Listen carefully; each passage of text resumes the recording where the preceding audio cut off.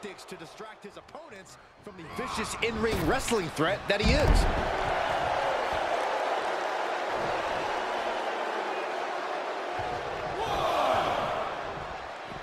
Heads outside, but this one has to end in the ring. Into the barricade. Re-enters under the ropes.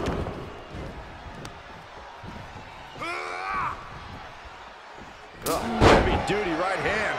Ziggler just unable to stop this attack. Dolph's got to find a way to defend himself.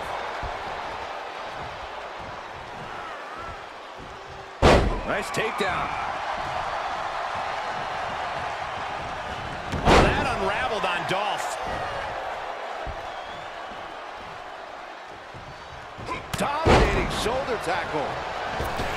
We know Dolph Ziggler's in a class by himself when it comes to cardio, but how can Dolph give himself the advantage in this one? Ziggler needs to force his opponent to wrestle like the show-off. A hybrid of fast-paced tempo and superior amateur wrestling is tough for any competitor to counter.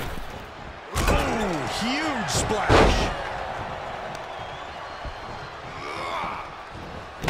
to the midsection. He's struggling a bit here.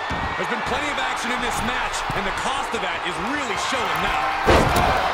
Stomps it.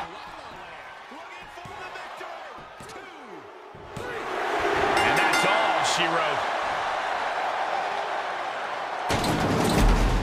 Here is your winner, Snow.